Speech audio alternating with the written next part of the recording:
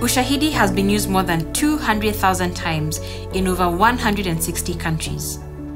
More than 50 million crowdsourced data points have been collected using our system, empowering people to raise their voice and fight for change, and providing human rights groups, journalists, and nonprofit organizations with a real time, powerful picture of what's really happening and how they can help. One example is a group in Spain called Frena la Curva. Frena la Curva translates to slow the curve, referring to the spike of COVID 19 infections at the start of the pandemic. Just like in the United States, the country ran out of masks, grocery store shelves were empty, and people were afraid to leave their homes because they didn't want to get sick.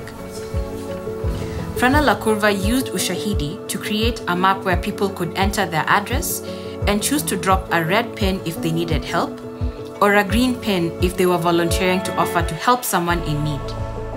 And in the darkest hours of the pandemic, when people logged in and looked at the map, they were encouraged by a sea of green pins all around them.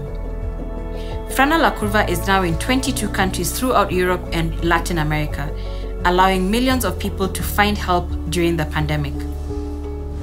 As organizations like Frena La Curva respond to crisis or champion social justice, we'll be here to make sure they have the tools they need to accomplish their mission. If you have a cause you're fighting for, we'd love to help. Anyone with an email address can go to our website and sign up, and within minutes, launch their own campaign to crowdsource information from everyday people in the community or around the world.